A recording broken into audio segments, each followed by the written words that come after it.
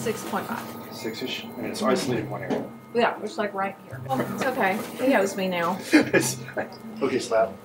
No, you're fine. Not hurting, right? Mm-mm. I'm gonna do the whole area.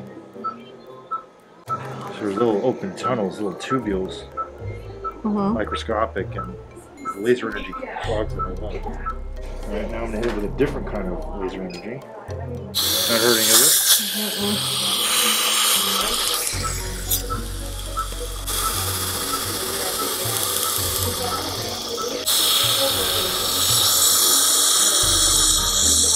Change. Can I take the?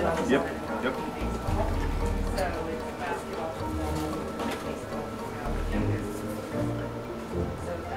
That's a huge change. It feels like normal. What do you got?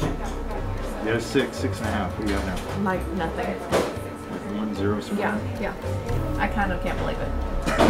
that that took like two minutes and there were no needles. Yeah. Yeah, No needles, no Sensodyne, none of that. And this should be lasting, by the way. That's awesome. We didn't put any medicine on her, did we? No.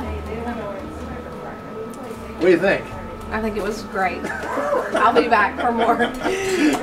This is this is for uh, I'm doing a continuing education course for hygienists. Oh, This is one of the topics. Okay, the lasers and the. Yeah, the ozone.